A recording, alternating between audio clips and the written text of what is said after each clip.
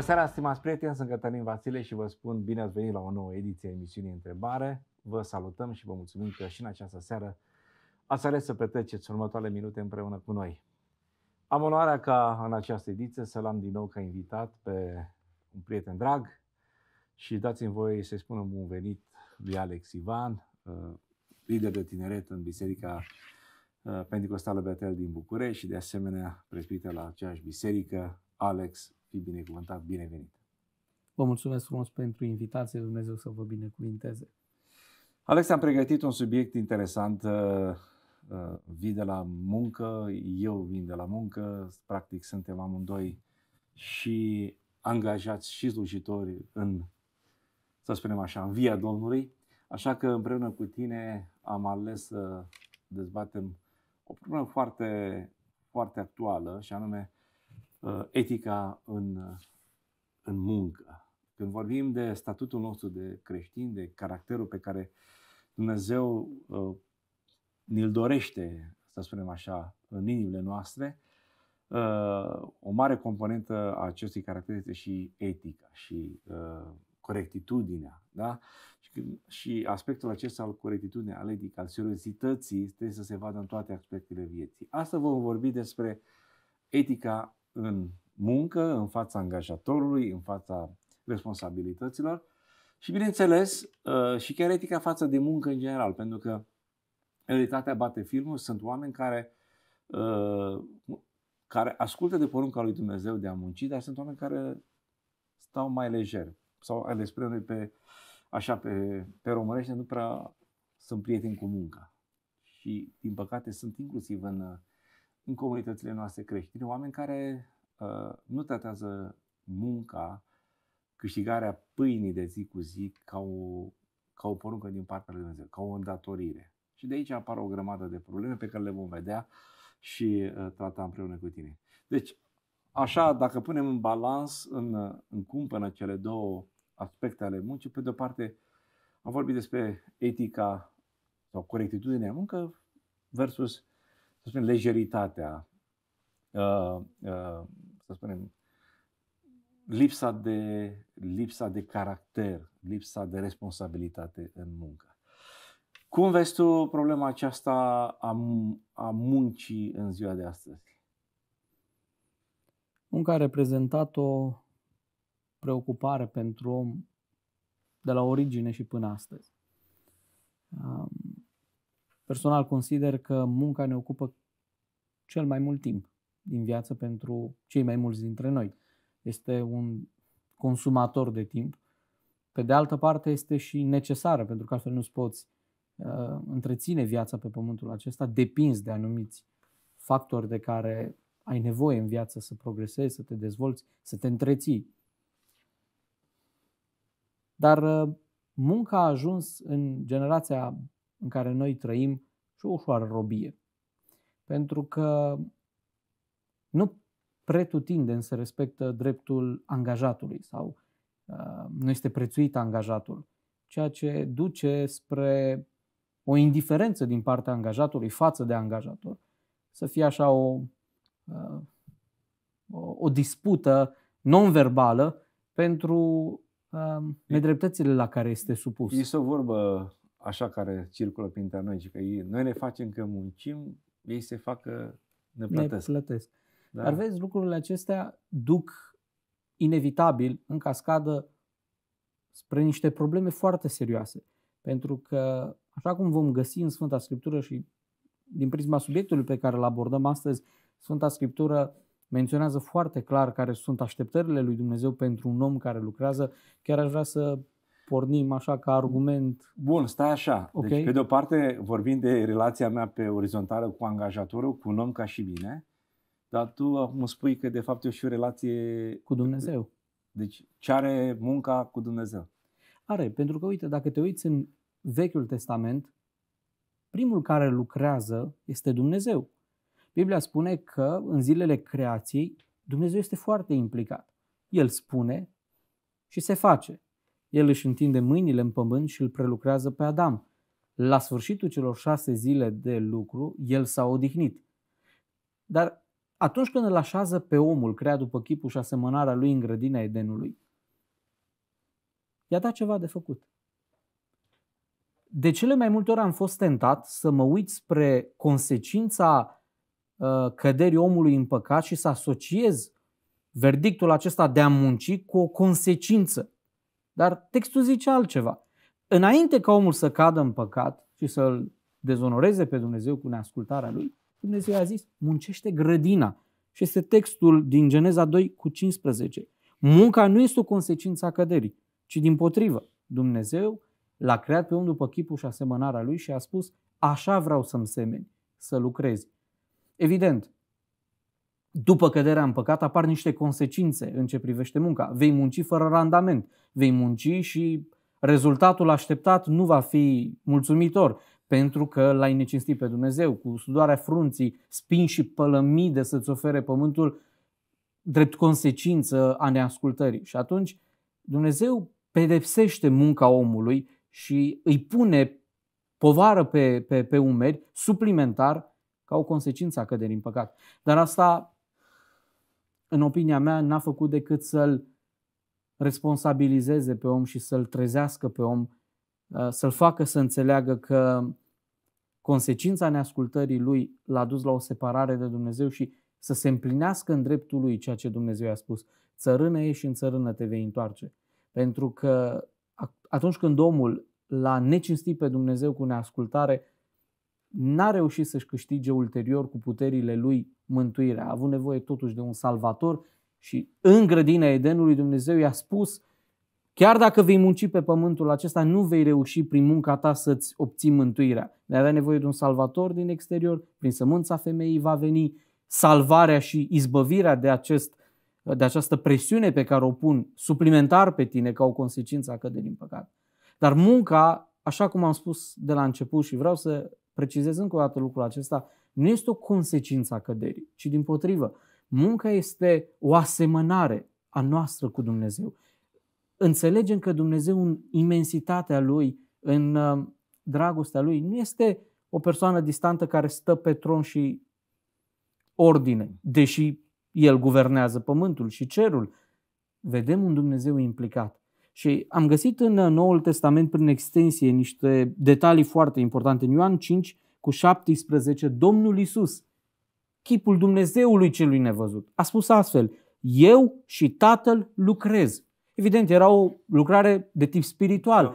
dar deseori în Evanghelie îl găsești pe Domnul Isus Hristos com, uh, amintit și perceput în comunitatea iudaică ca fiind fiul templarului. A învățat o meserie, a preluat o, o, o meserie. Era un lucru de onoare în casa unui evreu să-și, învețe, să-și învețe descendenții să facă lucrurile care i-au dus lui un câștig. Astfel avem de la un tată fierar fiu fierar, nepot fierar, un tată tâmplar, un copil tâmplar și așa mai departe. Moștenirea aceasta, valoarea muncii, etica muncii era transmisă din generație în generație. Și Isus este văzut ca fiind fiul tâmplarului. Și nu are o problemă cu treaba asta. Pentru că dacă mergem pe ceea ce spun cei mai mulți cercetători ai Sfintei Scripturi, Domnul Isus și-a început activitatea la 30 de ani. Până la 30 de ani un evreu muncea. Deci Domnul Isus Hristos cred și avem toate argumentele să credem, nu a fugit de muncă.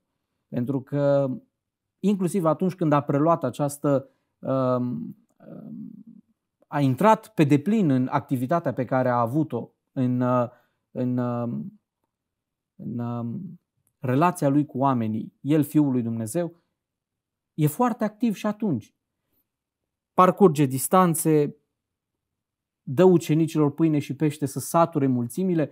Deci Domnul Iisus Hristos, dincolo de vocația pe care a avut-o și de mandatul pe care l-a avut, ca Dumnezeu întrupat să-i răscumpere pe oameni, n-a fugit de responsabilitatea de a învăța pe ucenici să a depus efort de fiecare dată. Nobili în, în, în muncă. A depus efort de fiecare dată. Mersul pe jos era un efort. Deci, practic, natura aceasta umană s-a văzut, la, uh, a obosit, a trebuit să mănânce, a trebuit să se odihnească, uh, a avut nevoie să, să se spele. Deci, practic, toate activitățile acestea umane uh, le făcea ca oricare dintre ceilalți. Uh, uh, pur și simplu, n-a, n-a stat, nu s-a, să spunem, teleportat. Aș fi putut să apare să dispară Exact. cum am mai, da? cum am mai S-a făcut și... întrupat, a parcurs această distanță în ani, prin copilărie, adolescență, tinerețe.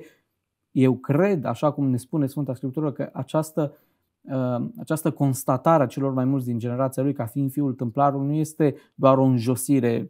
Vezi, uh, nu ești printre elitele uh, sociale și politice ale lui Israel, deci nu ni te poți adresa de la egal la egal. Cred că aici reprezintă și segmentul lui de activitate înainte să-și înceapă lucrarea. Că spune Biblia că semnul uh, principal al uh, uh, intrării în activitatea Domnului Isus Hristos a fost um, uh, transformarea apei în vin la nunta din Cana Galilei. Deci până atunci Domnul Isus Hristos a fost activ și a muncit și avem atâtea dovezi că a împlinit în viața lui. Și noi credem lucrul acesta pentru că vom aborda lucrul acesta și din perspectivă um, soteriologică. Domnul Isus Hristos a răscumpărat. Deci dacă până, în, până la venirea Domnului Isus Hristos munca este o corvoadă și este, o, este văzută ca și o, o, o sancțiune din partea lui Dumnezeu în sensul ăsta, că nu ne aduce împlinire și nu ne mulțumește și nu ne satisface pe deplin așteptările, omul care îl cunoaște pe Isus Hristos și devine parte din trupul lui Hristos, va ajunge să cunoască dimensiunea eticii muncii dintr-o altă perspectivă și va înțelege și va implementa în viața lui niște principii care îl vor, îi, vor, îi vor asigura o binecuvântare directă din partea lui Dumnezeu. El, Hristos, a răscumpărat prin moartea și învierea lui uh, inclusiv această problemă a muncii omului. A efortului. Mai ales că încă de la început, încă din Geneza, Dumnezeu i-a dat porunca să păzească grădina, Da, să o îngrijească. îngrijește Deci asta e un efort, este muncă. Deci, porunca lui Dumnezeu este să muncim și a fost dată înainte de cădere. Într-adevăr, după cădere s-au îngreunat lucrurile, a fost cu, na, consecințe. da, uh, cu pălămidă și cu Unii o mărăcini. numesc cu a doua creație. Pentru că, teologic vorbind, spinii și pălămida apar după ce Dumnezeu blesteamă, atenție, pământul. Nu omul. Unii consideră că Dumnezeu l-a blestemat pe om. Dumnezeu nu, Nu. nu l-a blestemat pe om. Dumnezeu a blestemat șarpele și a blestemat pământul. Și a zis să-ți dea de astăzi înainte nu ceea ce te aștepți să-ți ofere, ci să-ți ofere reversul, să-ți ofere Practic, nu ai- inversul nu la ceea ceea ce ce tu ai oferea în semănat. grădina Eden, cu siguranță. Exact. Asta Erau consecințele și uh, avantajele intrării și rămânerii lui într-o relație permanentă cu Dumnezeu. Și apoi mai e o chestie foarte importantă, este dependența totală de Dumnezeu sau cel puțin i arăt, uh, Dumnezeu le arăta prin asta că parcursul lor în viața care urma să o aibă depinde întotdeauna de binecuvântarea lui Dumnezeu. Și Dumnezeu făcea să plouă, Dumnezeu făcea să crească. uh, Dumnezeu nu că, ploua. Roa Uh, se scu- ridica. Da, roa, încă nu ploua. Uh, roa, apoi să animalele să crească și tot ce se întâmpla. Corect, uh, uh, până la... Nu de alta, următor. dar avem ascultători foarte atenți și cred că ar sancționa. Da, să dea apă. Hai să spun asta. Așa era corect. Corect. Dumnezeu făcea ca să dea apă. Asta era cu termenul corect. Așa că uh, orice se întâmplă din momentul acela în care omul iese din grădina Adem până în zilele noastre și până Dumnezeu va veni din nou în slavă pentru a ne lua la el, uh, cu siguranță vom avea această poruncă de a ne câștiga existența cu sudoarea frunții.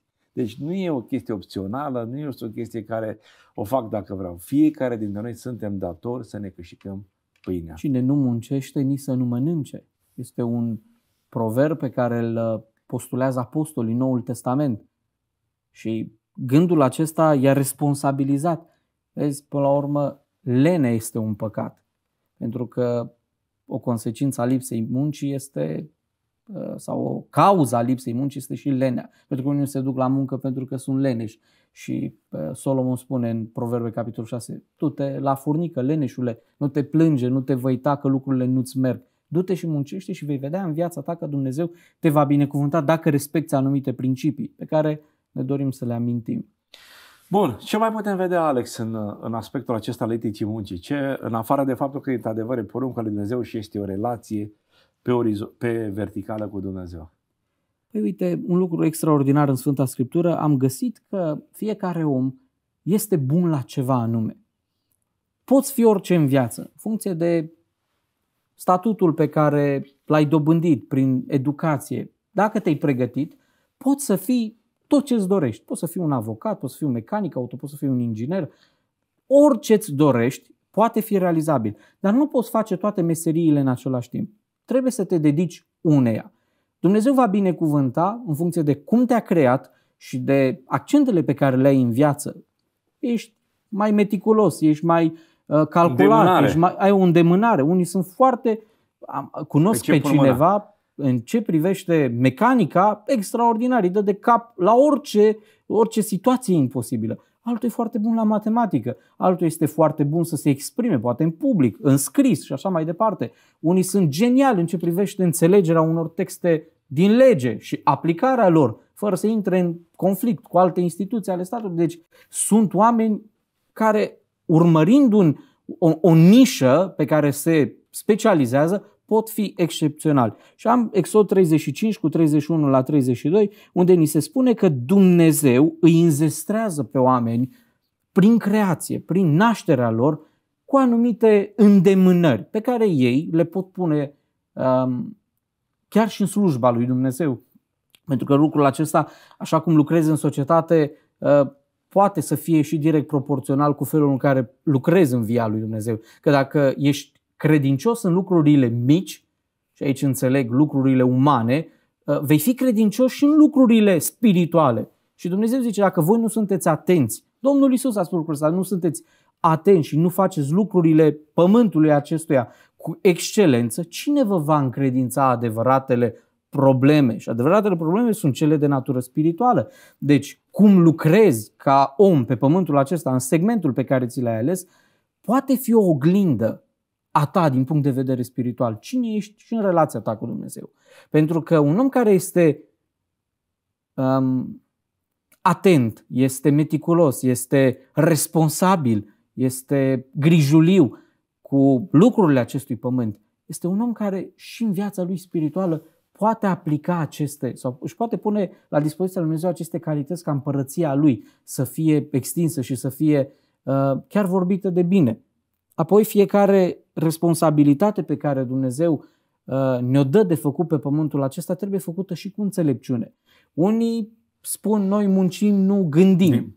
și dezagreez acest, acest uh, slogan cu care uh, defilează unii, scuzând până la urmă o lipsă de pregătire, poate și teoretică în viața lor. Dar găsim că în Psalmul 36, cu versetul 3, că sunt oameni care lucrează cu pricepere, refuză să lucreze superficial. Sunt oameni atenți la anumite detalii pe care um, lucruri care pot să pot să, să, să definească mai bine felul lor de a fi.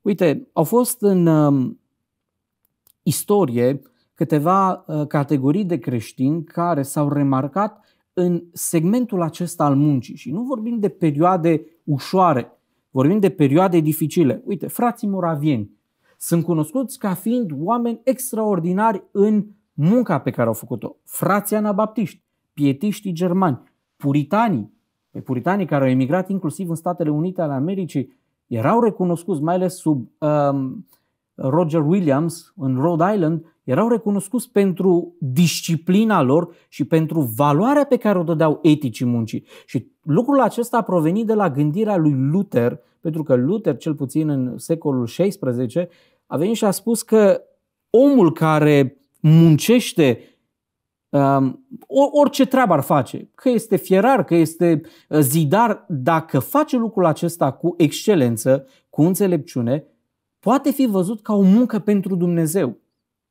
Și lucrul acesta a început să se schimbe în Germania timpului lui, pentru că uh, el a venit și a spus, munca pe care o tot face este o vocație pe care Dumnezeu ți-a dat-o. Așa cum un preot este chemat să slujească altarului, tu ești chemat să zidești și munca ta nu este mai puțin valoroasă decât cea a preotului. În contextul acesta, a responsabiliza societatea să o facă să înțeleagă că Munca nu este consecința căderii în păcat, ci munca este o responsabilitate dată prin creație omului și dacă o face cu excelență, nu va face altceva decât să dovedească asemănarea lui cu Dumnezeu Practic care este o mărturie excelent. vie, Alex. De acord. Practic o mărturie este o, o slujire, dacă o luăm așa. Eu Exact. slujesc prin munca mea. Eu mereu am zis și uh, uh, prin ceea ce ai spus deja mi-ai confirmat ideea aceasta pe care o mai zic din când în când. Creștinul prin definiție trebuie să-și uh, depășească s- condiția. Indiferent din ce mediu vii, indiferent ce abilități ai, ce pregătire academică Da. ai, la ceva trebuie să te pricepi. Pentru că Dumnezeu spune lucrul acesta că dă omului ceva. Nu există un om care să nu aibă măcar o abilitate. Doamne frate, doar dacă e acord. bolnav sau măcar cum să spun, dar ideea e că fie că dai cu mătura, fie că strângi un șurub sau știu eu, uh, faci un lucru de înaltă tehnologie, creștinul trebuie să facă lucrul acela cu seriozitate ca pentru Domnul. Ca Asta și e cum. cuvântul. Ca pentru Dumnezeu. Deci, practic, un creștin cârpaci, hai să o- o spunem așa, care nu-și face treaba cum trebuie, care nu, nu e responsabil, care o face așa de, hai, lasă-mă ca să treacă până, până trece șeful. Da? Timpul trece leafa merge. Exact. Acela nu este o mărturie. Nu este o mărturie. Și uh, uneori, chiar în viața de zi cu zi, Alex, și uh, e foarte bine să menționăm asta, la un moment dat, prin statutul nostru, prin viața noastră, s-ar putea să fim neplăcuți, ca să nu zic că chiar putem deranja prin ideile noastre, prin modul nostru de viață. Nu întotdeauna ești cel mai, într-un mediu laic, într-un mediu poate chiar anticreștin, unde ai văzut cum e la muncă, tot felul de oameni, oameni cu tot felul de... Ar putea să nu fii cel mai agreat uh, coleg din faptul că tu nu faci ca ceilalți sau nu ești ca, ca ceilalți, dar pentru faptul că tu ești profesionist, ești meseriaș, când ai făcut tu, nu mai vine nimeni după tine să repare, ești acceptat și ți se dă sarcini importante. Vezi, băi, ție ăsta nu are el ideile lui, dar ce face pocăitul e bine făcut, da? E bun făcut. E, asta e, Alex, aici avem noi o problemă. Prin natura locului de muncă mă întâlnesc cu diverse persoane din mai multe categorii sociale, din mai multe pături, le-aș numi pături economice ale, ale societății și vreau să spun că atunci când stau de vorbă cu oameni din lume, sensul acesta Da. da. neaparținând segmentului nostru evanghelic, Evanghelic. ca să nu sune chiar atât de rudimentar, um, îmi spun cunoști echipe de meseriași uh, pocăite? Și rămân impresionat că s-a dus un pic vestea în uh, domeniul acesta al construcțiilor că o echipă de meseriași a unor creștini este mai valoroasă. De ce? Sunt mai principiali. Nu beau, Nu-ți fură echipă? nu-ți fură materiale, întotdeauna îți lucrează la lumină și ce te înțelegi cu ei rămâne înțeles. Lucrul acesta aduce o mărturie bună comunității evanghelice din România, pentru că atunci când lucrezi tu creștin pentru oameni necreștini, poți prin munca ta să faci cea mai frumoasă formă de evangelizare, pentru că ei văd în tine implementat chipul lui Iisus Hristos. Nu ești un uh, moralist care doar de la învon sau poate doar uh, când au pocăiții uh, din mai multe confesiuni religioase, evenimente, hai la noi la biserică că vine un grup bun, vine un predicator bun, nu contează cum trăim noi, contează că vine un superstar, Exact. un grup uh, renumit, hai să umplem sala să vă arătăm cine suntem noi, comunitățile evanghelice din România. Nu la asta ne referim.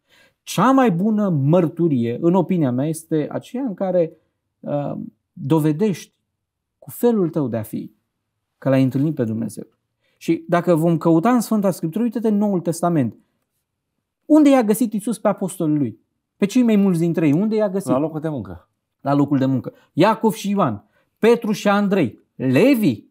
Vorbim de oameni care au avut o meserie, au avut business în termeni Exact. exact. moderni. Păi aveau propria lor afacere. Erau fiii lui Zebedei, aveau bărcile lor. Pentru un Israel cotropit de romani, ei aveau afacerea lor. Deci înseamnă că lucrau, erau harnici, erau... Bun, nu are rost să justificăm momentul ăsta cât de bine le-a mers, dar gândește-te că Petru pune o întrebare. Doamne, noi, 12, am lăsat totul și am venit după tine. Deci pe noi ne-a costat să venim după tine. Era un meseriaș. Deci, dacă ți aduce aminte când Isus moare și a înviat, um, Simon Petru când aude vestea asta le spune ucenicilor, mă duc să prind pești. Mă întorc tu la jobul meu, adică Așa a și făcut. a fost, asta, asta a și făcut. ceea ce mie îmi spune că apostolii au avut o meserie. Nu au fost oameni uh, muritori de foame care au stat cu mâinile întinse să se îndure nu știu cine de ei. Cu atât mai mult în Israelul din timpul lor, când s-au ridicat și au vorbit în comunitățile lor, erau respectați. Pentru că, unul, au avut un loc de muncă, au avut copii, cei mai mulți dintre ei au avut copii. Petru chiar zice, fiul meu și așa mai departe. N-are rost să intrăm în detaliile acestea că sunt un pic mai, mai, uh, mai speciale, dar uite, în contextul acesta n-au fugit de muncă. Au fost o mărturie pentru comunitățile. Uite-l pe Pavel. Aici vreau să ajung. Hai să ajungem la fratele nostru Pavel, care a creștinat un om atâtea, cu o pregătire de înaltă biserici. valoare, la un moment dat este uh, în călătoria lui, pentru că faptul că era foarte pregătit, dar la nivel de academic foarte tare la vremea respectivă, nu e rușinat să pună mâna pe muncă de jos. Păi atunci când se întâlnește cu Aquila și Priscila, spune Sfânta Scriptură, ei făceau corturi. Și Pavel, până i-au venit colaboratorii să-l ajute, să-l întrețină, să-l susțină financiar în misiunea pe care a avut-o de a răspândi cuvântul lui Dumnezeu în, uh, în Corint, Pavel a făcut corturi. Și chiar el spune, în toate m-am deprins să fiu și sătul și flămând uh, și să cunosc în viața mea diferite contexte în care Dumnezeu mi-a vorbit, Dumnezeu m-a, m-a, m-a format. Pavel n-a fugit de muncă. Uh, lucrurile acesta, pentru că vom găsi, am, am câteva versete, uite, spre exemplu, Pavel zice în 2 Tesaloniceni, capitolul 3, cu versetul 12, îndemnăm pe toți oamenii aceștia și sfătuim în numele Domnului nostru Isus Hristos să-și mănânce pâinea lucrând în liniște. Deci creștinismul nu i-a absolvit pe oameni de această responsabilitate de a munci. Pentru că, uite, îți dau un exemplu. A fost un moment în uh, istorie, în anul 1666, în Kiev, uh, s-a ridicat uh, un soi de uh, predicator care zis, este anul anticristului, 666, gata, vindeți tot, nu mai lucrați, nu mai faceți nimic, vine Domnul, este anul anticristului. A trecut 666, anul 1606, n-a venit Isus.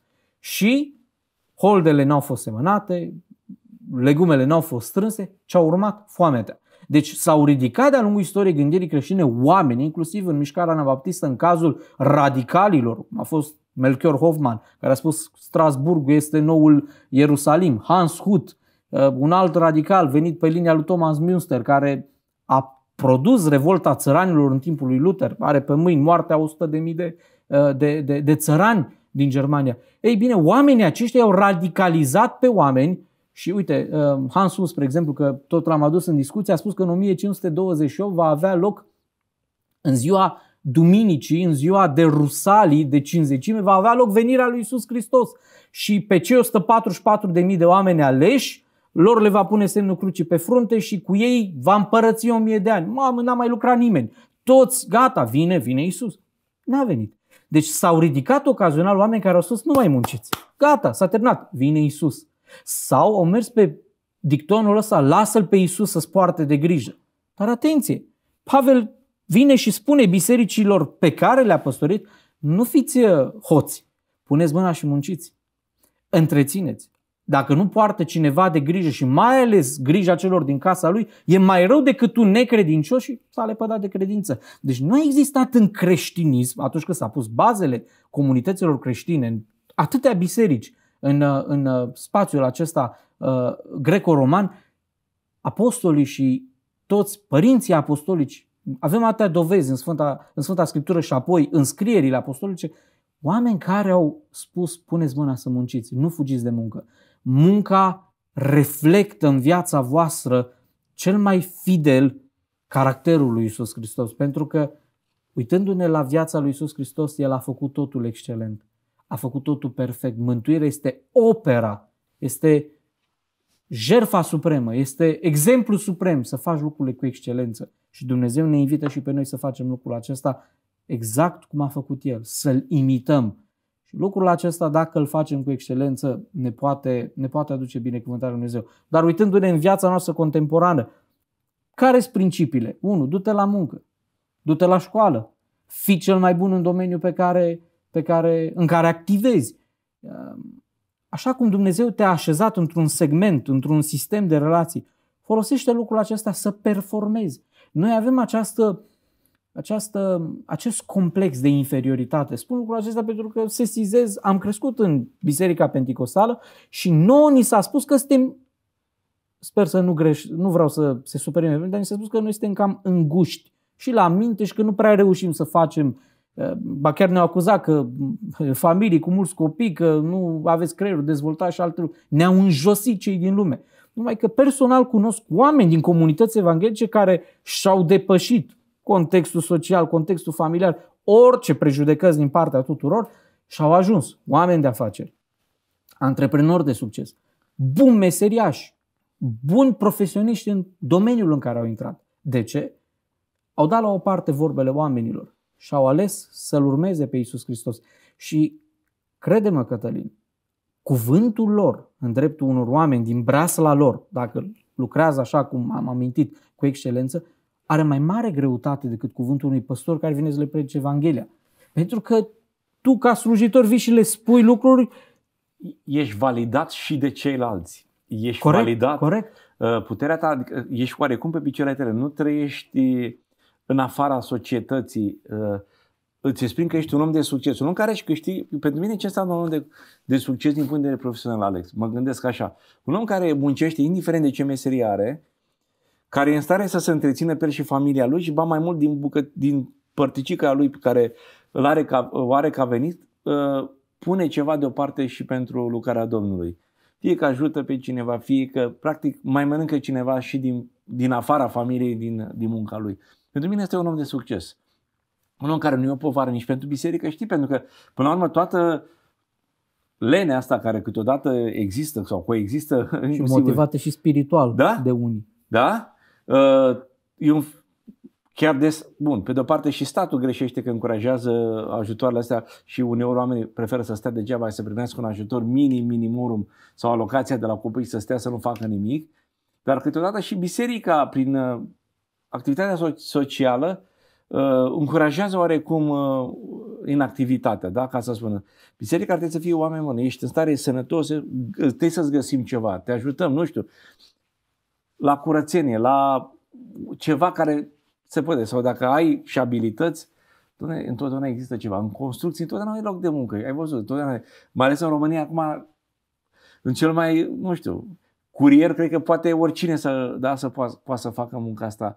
Și sunt uh, adică în construcții. sunt segmente de piață unde te poți angaja fără deci mari nu există chestia asta că nu poți să muncești, că nu, într-adevăr. Inclusiv legislația din Europa și din România încurajează angajarea persoanelor cu dizabilități care își doresc să muncească, exact. punându-li se la dispoziție elementele necesare desfășurării uh, program redus, active, da. exact, tot ce trebuie, li se pune la dispoziție. Nu există să nu vrei să muncești. Plus acum lucratul de acasă, deci o altă opțiune care ai văzut s-a propagat foarte mult în anumite zone. Se pot, poți lucra, dacă ai familie, copii, mamele. Deci există întotdeauna activitate, numai să vrei. Și apoi mărturia aceasta, Alex, pentru că noi avem o problemă. Noi din gură suntem specialiști, toată lumea predică. Dăm pe afară de atâți predicatori și oameni uh, care... Măcar de-am predica Evanghelia. Evanghelia și ar fi excepțional. Da? Dar când stăm la partea practică, toată lumea încearcă să uh, atragă atenția, dacă se poate să nu facă uh, mai nimic, să fiecare să fie eu aș zice că mai repede mută atenția de la lenea și superficialitatea lor spre alte lucruri avem darul ăsta de a ne plânge uh, și de a ne victimiza și mai puțin seriozitate când e vorba de, de a face ceva. Și nu mai vorbim de, apropo de ce apar problemele în biserică. Păi prea încep de la alea de acasă.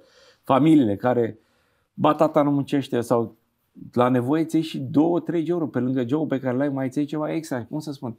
Uh, sunt oameni care muncesc în plus pentru a avea, vrei mai mult. Eu știu care, nu toată lumea și nu, nu întotdeauna suntem, am vorbit asta de la început, că suntem respectați și să fim plătiți la nivelul la care ar trebui să fim plătiți. Astea sunt condițiile. Au fost condiții și mai rele. Dar mai faci ceva, mai te specializezi. Știi cum? Cred că un fiecare loc de muncă e un alt e un loc de pregătire pentru un alt loc de muncă. Nu, sunt nevoit să muncesc. Asta a fost principiul meu în viață. Eu dau doar așa și mă opresc. Dar te rog. Am avut... Uh, a trebuit să muncesc. Dar am început cu ceva ca să pot să trăiesc săptămâna asta, aia la altă și... Dar în perioada asta în care, bă, poate nu era, nu mi-a plăcut sau... Dar a trebuit să muncesc, mi-a făcut treaba și în timpul ăsta, în timpul liber, nu am dormit, nu am lenevit, m-am pregătit pentru alt loc și am zis, băi, ce se cere? Pentru că aminte, am fost dată la un interviu în care mi s-a zis, ești băiat excelent, dar ca să poți să lucrezi, nu mai ai nevoie să înveți asta, să înveți asta. Pentru mine mi-au făcut oamenii un serviciu extraordinar. M-am întâlnit după ani de zile cu ei și a zis, eram deja pe poziție mai sus decât aveam la vremea respectivă și mi-a zis, băi, uite, ne-ai ascultat saltul, felicitări. Înțelegi? Acum ești prea calificat pentru noi, poți merge mai departe. Deci sunt lucruri și lucruri. Alex, și noi trebuie să fim asta și suntem creștini. De ce faci asta? Nu fac pentru că sunt creștini. Fie că strâng un șurub sau o știu, fac o instalație sanitară, așa, ca pentru Domnul, sau știu, crezi nave cosmice. Fiecare dintre noi avem chemarea de a fi o mărturie, de a fi. Și asta exact subiectul nostru. Uite, îți dau un exemplu. În Germania, o cunoștință de-a mea uh, a fost invitat în casa unui uh, beneficiar care a angajat înainte de el trei sau patru echipe de instalatori pe centrale și uh, segmentul acesta de, de activitate și niciunul nu i-a dat de capăt. Și a venit și cunoștința mea și i-a spus, problema e asta. În 5 minute i-a spus, problema e asta, așa se rezolvă. N-are cum. Îți cumpăr ultimul telefon, cadou dacă mi-o rezolvi. Beneficiarul uh, încercând cumva să-l ilarizeze, să-l da. ia un pic. Peste, cum, adică am avut atâția meseria și vii tu român și mai tânăr și, și în 5 minute i-a pus în funcțiune centrală. N-a acceptat ceea ce i-a pus pe masă beneficiarul un telefon, azi nu, mi, nu mi-l trebuie, mi îmi dai cât am uh, convenit conform contractului. A rămas omul mirat. Cum e posibil? Uite, e posibil să fii excelent, chiar dacă ești român, să fii excelent chiar dacă ești într-o țară străină. Și aici aș vrea să mai dau câteva exemple din zona aceasta practic. Uite, avem o bisericuță de care ne ocupăm, Betane din satul Răzvan, la 64 de kilometri spre Constanța, în județul Călăraș. Acum 12 ani, mai bine de 12 ani, când am început activitatea acolo, în compania unui fost coleg de, de Institut Teologic Pentecostal, peste 80% din bărbații din biserică erau asistați social la primăria din Răzvani. Ce vorbeam mai înainte? Și într-o discuție cu unii din ei le-am spus. Păi voi ca bărbați cum vă simțiți? După ce să întindeți mâna la primărie, să vă dea 2-300 de lei pe, exact. pe lună pentru un ajutor social. Chiar nu vreți să munciți. Și în urma unor discuții cu ei, au început să se angajeze. Fac naveta unii din ei, cu mașina sau cu trenul astăzi, peste 90% din bărbații din biserica aceasta sunt angajați cu forme legale. Ce au făcut? Există cursuri de recalificare. Frizer, electrician, mecanic auto, cursuri basice de reorientare în exact. Uh, piața muncii. Dacă vrei, durează câteva săptămâni, câteva luni de zile și ți se oferă o diplomă în care poți să începi să lucrezi. Numai cine nu vrea și trăiește în această superficialitate, nu se duce la muncă și apoi se miră că lucrurile nu funcționează în viața lui. Dar, repet, cea mai înaltă formă de, um, de evangelizare în cadrul comunității evanghelice este ca acolo unde ne găsim în segmentele noastre să, să fim oameni extraordinari, să fim oameni pregătiți. Am avut un profesor la institut care tot a insistat pe treaba asta și a încercat să, să pună în mintea noastră responsabilitatea. A zis, ne, l-a întrebat pe unul din colegii uh, noștri, ce notă ai avut uh, pe primul semestru? Și el zice 7, 8, 7, 8. Și i-a pus o întrebare dureroasă pentru noi în momentul respectiv. Îi zice, tu ți-ai dat, uh, tu ți-ai dat trupul pe mâna unui medic de 7, 8, 7, 8 sau ți-ai dat trupul pe mâna unui medic de 10 pe linie? Și zice, clar că pe mâna unui medic de 10 pe linie. Și a pus o întrebare. Și atunci cine și-ar da sufletul pe mâna ta cu 7-8 la teologie? S-a făcut Dureros. În sală. Dureros. Pentru că ce se întâmplă? Considerăm că dacă suntem din spațiul evanghelic și în spațiul evanghelic, lasă că mergi. Știi, eu vorbă la români. Facem o românească. Aceste scurtături în viață mm-hmm. și tot acolo ajungem. Înaintea lui Dumnezeu lucrurile acestea sunt vinovate. Eu nu spun să sare etape, eu nu spun să fii șmecher, eu nu spun să, sau nici măcar să faci din muncă o idolatrie și să pui poveri pe exact. sufletul tău suplimentar, să-ți neglijezi familia. dar nu poți să te scuzi ca om al lui Dumnezeu sau poate ca femeia lui Dumnezeu care spui că ai un legământ cu Dumnezeu să fugi de responsabilitate. Și uite, un alt exemplu, aici a fost uh, o săgeată înfiptă în inima mea. Fac misiune împreună cu uh, un grup de voluntari în cadrul unui ONG pe care îl, uh, îl ajutăm să funcționeze în perioada aceasta și în localitatea aceasta în Răzvani am văzut o mamă care își certa copilul în spatele unui gard de beton cu câteva inele, cât să poți să vezi prin gard, câteva inele hașurate așa decupate în formatul gardului, am văzut o mamă care își certa cei trei copilași, cereau de mâncare sub ochii noștri. Noi eram afară, aproape, pe, pe, aproape de uh, proprietatea dumnei și ea își certa copiii că îi cereau de mâncare. Și unul din copii s-a prins de piciorul ei, nu știu, să fie avut vreo 2 anișori și l-a repezit. Dar uh, cu mâna cu care l-a repezit, a intrat așa într-un dezechilibru și în cealaltă mână avea o țigară aprinsă. Wow. Și m-am uitat la imaginea aceasta. Pe un pachet de țigări costă. Cât să-ți cumperi un pui și să pui la masă să faci festin pentru copiii tăi. Și acolo m-am trezit și am zis, cum e posibil? Asistat social și bărbatului și ea. Și din alocațiile copilului și din asist... Cât îți dă statul? Nu mai știu acum care este uh, cuantumul banilor pe care ți oferă, să te pui un pic pe picioare, să nu faci foame în țara aceasta, ea a ales să-și, cere, să-și certe copiii. Femeie sănătoasă, bărbat sănătos, pachetul de țigări la ordinea zilei și în fiecare zi cumpăra și pus în buzunar și copiii să ceară de foame. Culmea, mai și venea la biserică ocazional și acolo am considerat că este o rușine pentru mine ca slujitor. Pentru că dacă nu reușești să o responsabilizezi inclusiv pe ea, măcar ca mamă să înțeleagă că atunci când își cer copiii de mâncare, n-ai voie, n-ai voie să pui la spate cererile lor legitime să satisfaci tu un viciu. Aici lucrurile. Și ce faci cu câștigul tău contează. Că am cunoscut care din câștig fantastic, câștigul s-a pierdut pe pariuri, burse, uh, tot soiul de... Uh, Managementul prostii de, de genul ăsta. Și atunci, clar că undeva n-ai înțeles care ți este până la urmă responsabilitatea. Un om al lui Dumnezeu, în opinia mea, nu trebuie să fie ca mine, poate dacă cineva mă poate contrazice pe subiectul acesta și îmi poate da câteva argumente, poate îmi retrag cuvintele. Eu nu cred că un creștin poate să joace la speculă, nici măcar în bursă, nici măcar în uh, pariuri sportive, nici măcar în bitcoin, nici măcar în aceste elemente care produc în mintea omului iluzia unei îmbogățiri rapide. Eu am citit în Biblie că ce se strânge încetul cu încetul se adună și Dumnezeu binecuvintează rodul muncii tale. Păi stai că și eu muncesc, că stau în spatele unui calculator și fac speculă. Eu cred că cântarul acesta nedrept e condamnat în Biblie. Nu am argumente să justific că sunt foarte mulți din uh, oamenii din spațiul evanghelic care au ajuns să fie tentați de aceste zone Ehm, eu le numesc gri.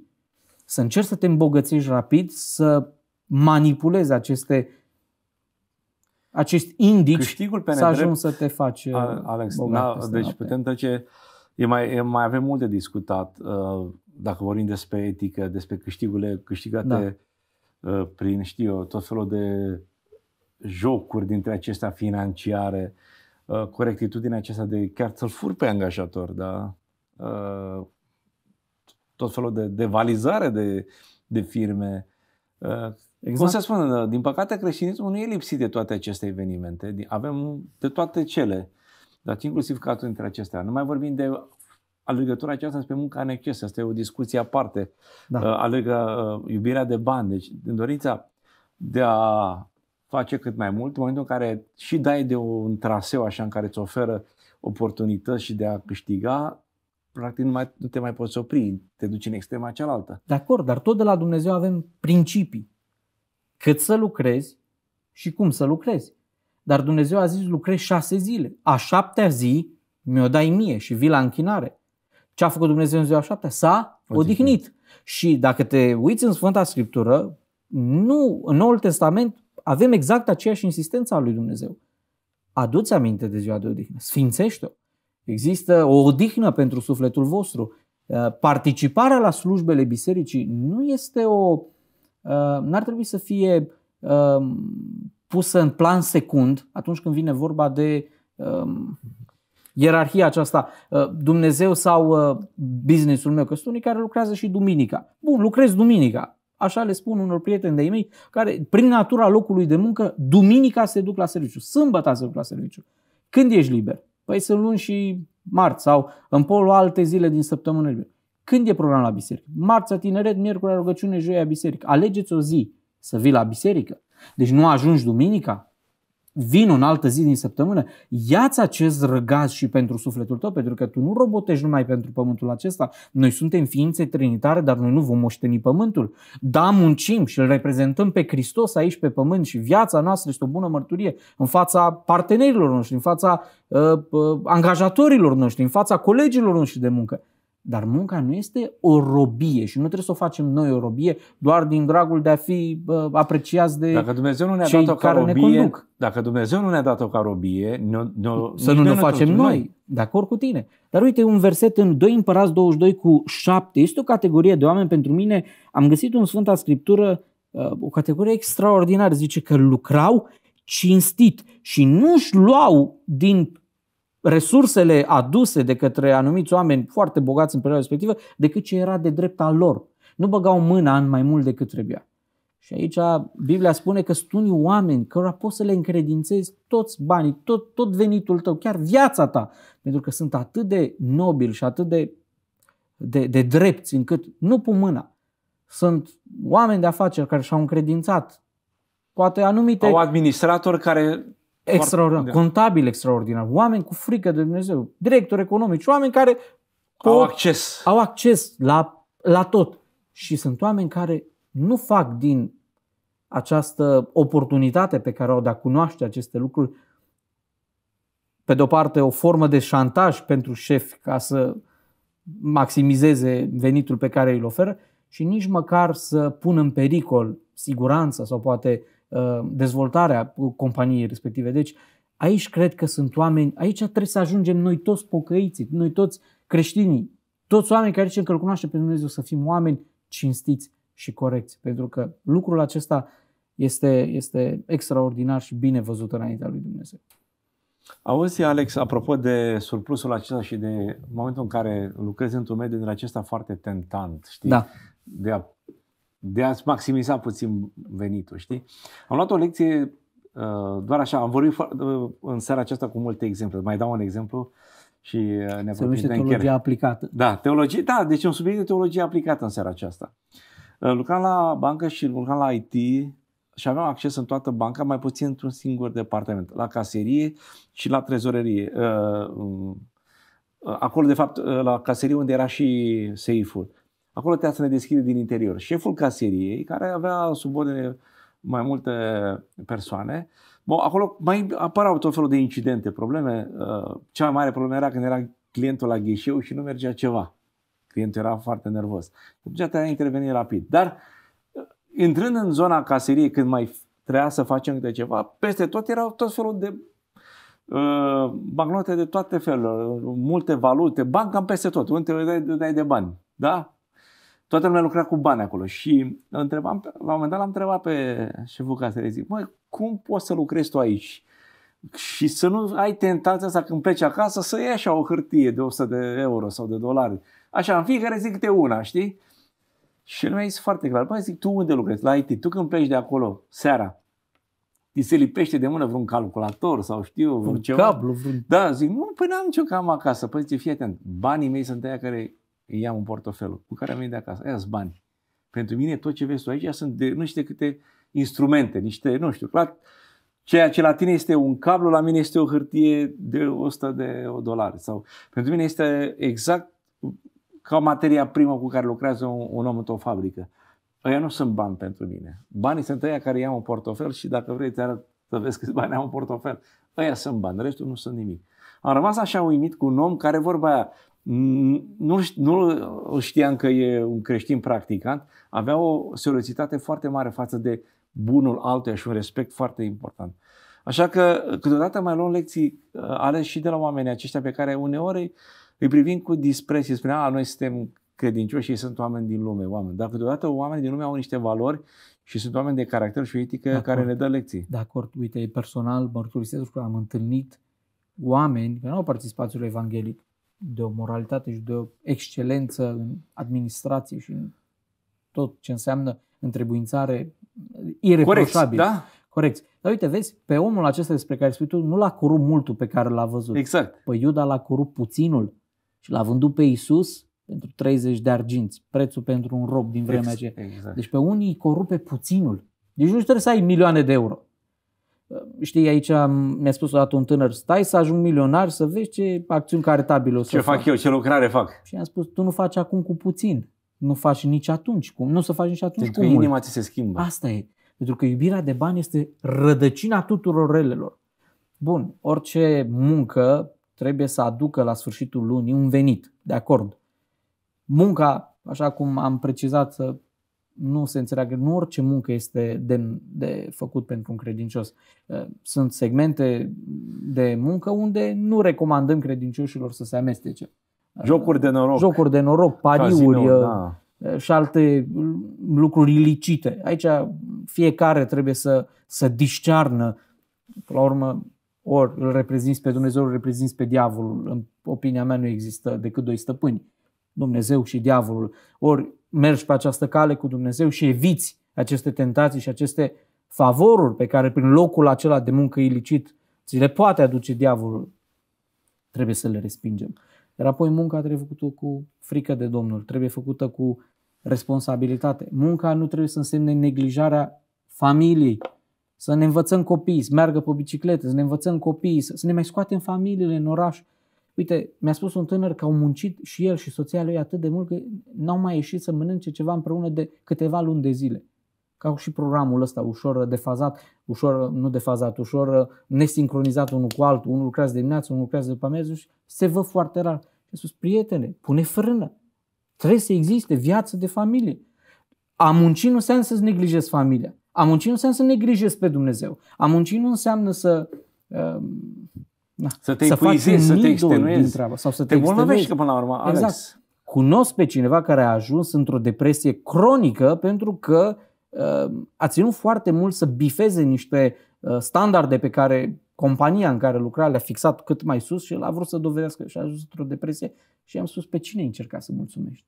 Pe cine încerca să, să impresionezi?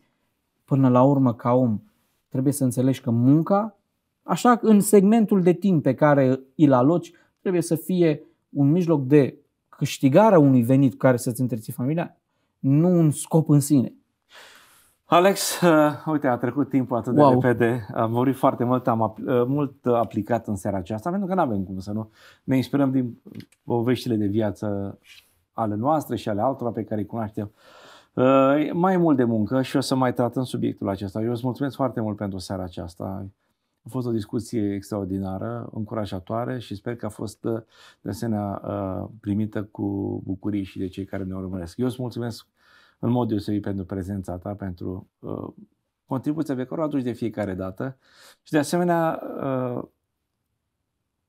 să spun așa, te am în inima mea în rugăciune pentru uh, tot ceea ce Dumnezeu ți-a pus, uh, să spunem așa, pe traseul acesta pe care El ți-l desenează cu, să spunem, cu uh, curbele acestea ale vieții, ca El să-ți dea tot ce ai tu nevoie, să tu slujirea, familia și de asemenea să fiu un om uh, după inima lui Dumnezeu. Cătălin, a fost o bucurie să avem acest dialog. Onoare e de partea mea, îți mulțumesc pentru invitația pe care mi-ai făcut-o. Vin cu bucurie ori de câte ori uh, sunt invitat.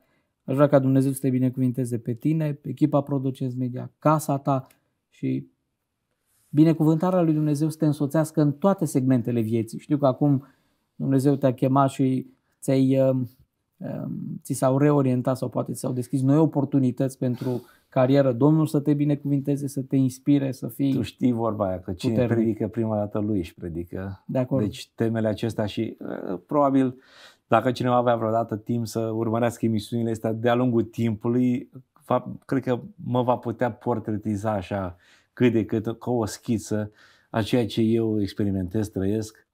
Dar, Pentru că chiar fără să vrei, spui din propria viață și cine cunoaște știe să culeagă anumite informații. Așa că uh, și pentru mine personal a fost foarte utilă discuția aceasta și mă bucur că Dumnezeu prin tine ne-a mai adus aminte încă o dată ceea ce este munca ce trebuie să facem și uh, cum trebuie să-L urmăm pe Domnul Hristos și în acest segment mm. foarte important al vieții. Mulțumesc! Stimați prieteni și dumneavoastră vă mulțumesc în seara aceasta pentru prezența în fața micilor ecrane. Vă mulțumim că ne-ați primit în casele dumneavoastră. Până data viitoare vă salutăm și vă spunem la revedere!